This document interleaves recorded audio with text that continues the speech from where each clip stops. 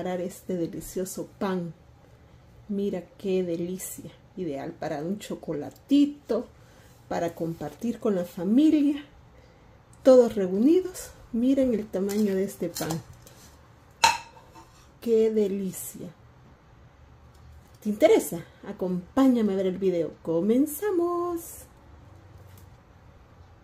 Vamos a estar ocupando lo que son cuatro tazas de harina.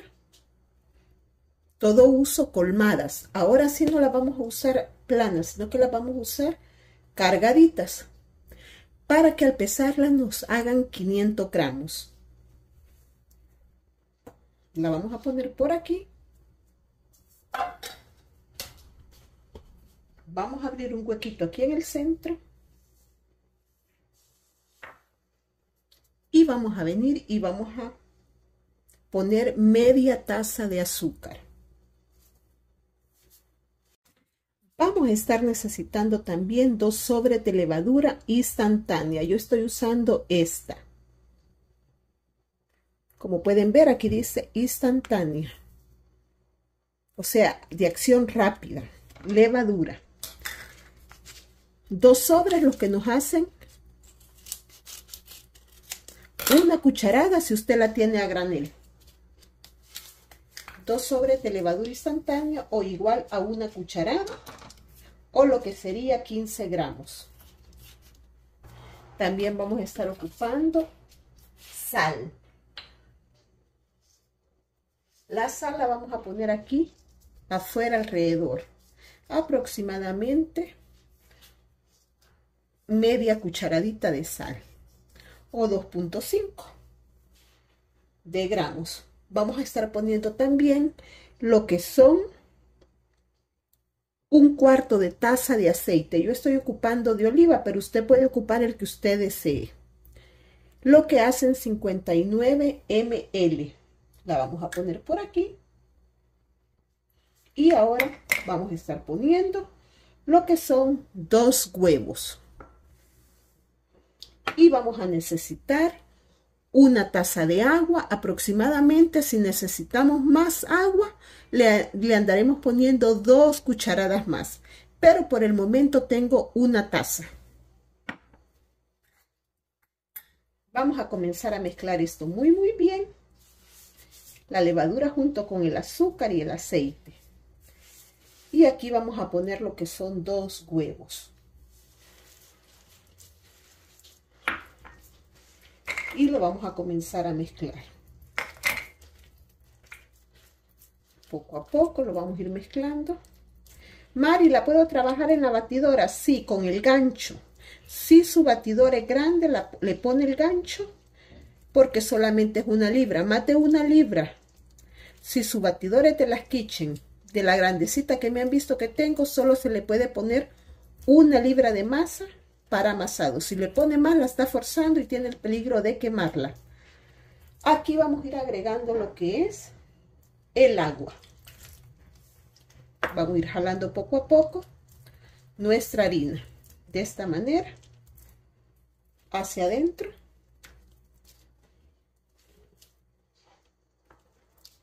Vamos a ir viendo si necesitamos más agua o no pero una taza es la correcta para esto.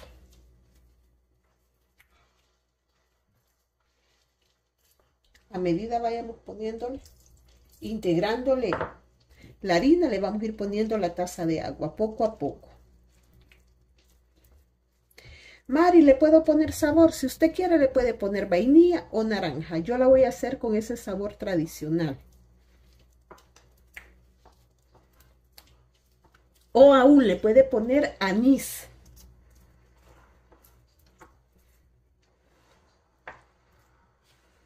Usted va a ir viendo si necesita más o no.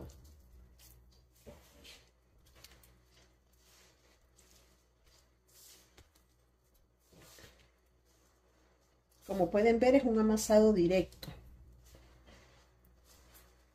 Ir dando la textura que necesitamos.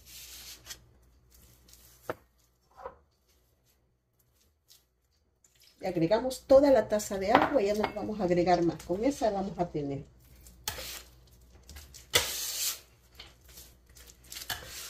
Y aquí lo vamos ayudando con la raja. Se nos va a poner un poquito ligosita, pero usted no tenga miedo. Con el amasado le vamos a dar nuevamente el punto.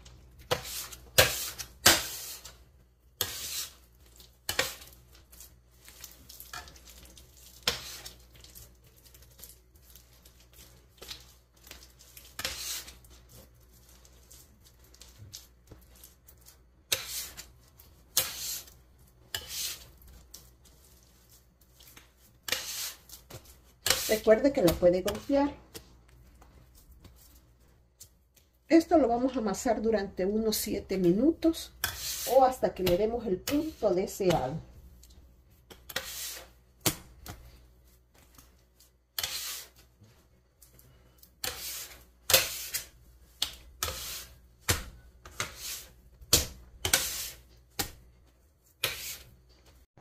Ya que la llevo de esta manera, miren, ya voy amasando como unos 6 minutos aproximadamente.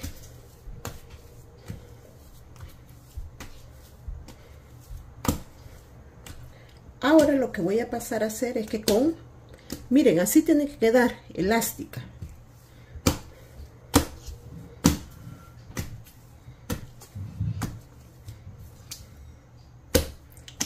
Me voy a poner un poquito de harina en las manos para quitarme los excesos de masa de las manos y poderla manipular ya.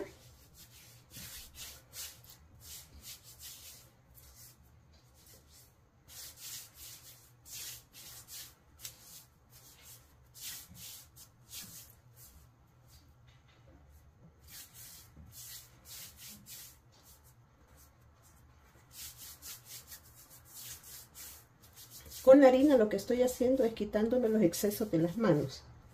Y ahora con la ayuda de la espátula vengo y levanto a mezclar bien lo que acabo de poner.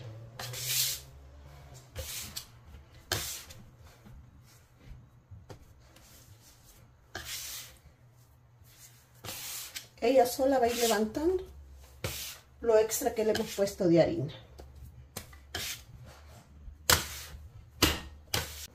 Como pueden ver, después de 7 u 8 minutos de amasado ya tenemos así la masa. No vamos a agregar un poquitito de aceite. Así. Y lo vamos a embarrar muy bien. Y aquí vamos a venir y la colocamos, miren, de esta manera. La colocamos por aquí y ahora sí que hay un poquito más de aceite, le ponemos por aquí encimita y la dejamos reposando durante 40 minutos tapadita en un lugar calientito. Bueno, pues amigos, una vez que han pasado 40 minutos, nuestra masa ya se encuentra de esta manera. Lo que vamos a hacer aquí ahora es lo siguiente. Vamos a venir y vamos a poner un poquito de harina sobre la mesa. Vamos a colocar la harina en la mesa. Nos ponemos en la mano aquí. Y ahora vamos a desairar nuestra masa. Miren qué bonita masa tenemos. De esta manera, miren. Miren su textura bien suave.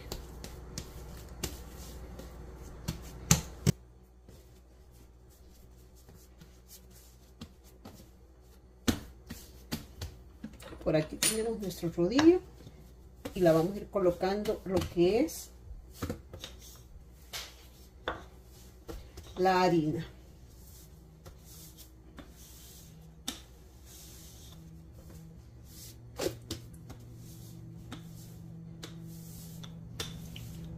Ustedes pueden ver, miren, ya les tiramos casi pareja. Desde, este. quizás de ancho, una mano con dos dedos.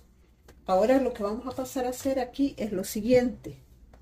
La vamos a poner para acá, así.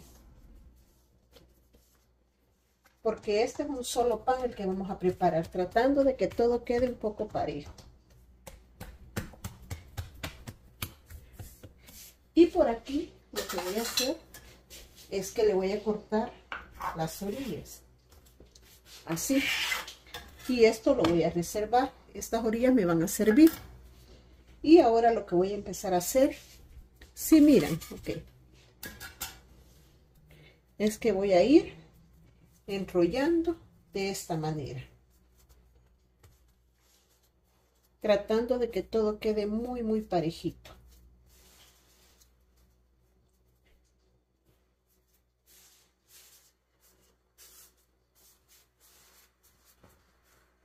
Ya que lo tengo enrollado de esta manera lo que voy a pasar a hacer es que voy a sellar. Miren.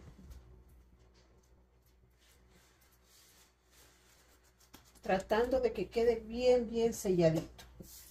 Y con la misma voy a venir.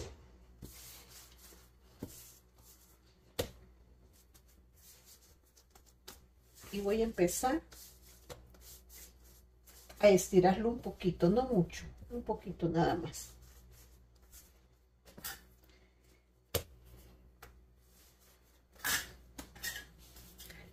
es largo porque como estamos haciendo toda la masa, la masa, aquí voy a empezar a enrollar de esta manera, miren. Y este parte de aquí lo voy a poner acá, abajo. Y por aquí, el pedacito que me sobró, lo voy a bolear.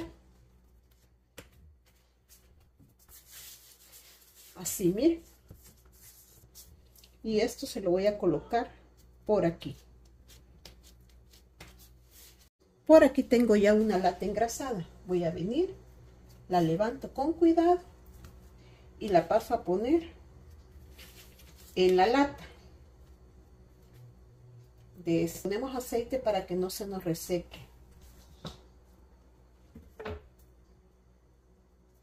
Ahora la voy a dejar 30 minutos más Luego vengo y la barnizamos. Y bueno, pues amigos, una vez que han pasado 30 minutos, la destapo con mucho cuidado. Y el pan ya se encuentra de esta manera, miren. Lo que voy a pasar a hacer ahora es que la voy a barnizar. Ahora por aquí, como ustedes pueden ver, tenemos un huevo. Aquí le vamos a agregar un chorrito de leche o una cucharadita. Así poquito y esto lo vamos a batir muy muy bien. Muy bien. Con cuidado porque ya dio su punto ya está muy bonita ya cualquier movimiento brusco se nos puede bajar y no queremos eso. Trate de barnizar parejito. Bueno amigos una vez que ya barnicé la voy a llevar a hornear a 350 grados Fahrenheit durante un tiempo de 35 minutos a 40 o al tomar un color doradito ya está lista. Lo llevo a hornear con cuidado de no golpearla porque ya dio el tiempo de su crecimiento. Y bueno pues amigos, 35 minutos después así se encuentra ya nuestro delicioso pan de crecimiento. Vengo, lo saco y se los muestro. Y bueno pues amigos, miren qué delicioso pan mire cómo nos ha quedado. Vamos a esperar que se nos enfríe para venir, cortarlo y mostrarle su deliciosa amiga por dentro. Pero sin duda, prepare su chocolate, su cafecito o su taza de leche para disfrutarlo.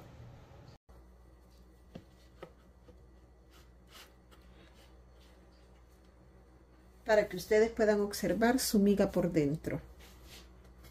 Está caliente todavía, pero miren la suavidad de este pan. Miren qué delicia de pan. Miren qué suavidad. Y como pueden ver, por aquí tenemos ya nuestro pan delicioso. Bueno, pues amigos, espero que les guste la receta, que se suscriban al canal y hasta la próxima. Bendiciones, se les quiere. Bye.